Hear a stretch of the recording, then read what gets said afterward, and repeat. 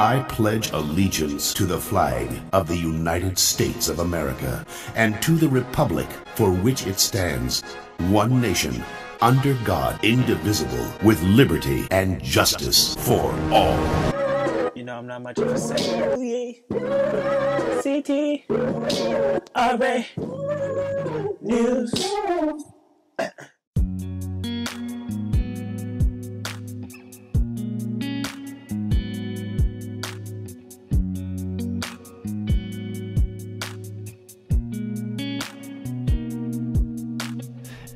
Could change, but this feels like like the calm before the storm.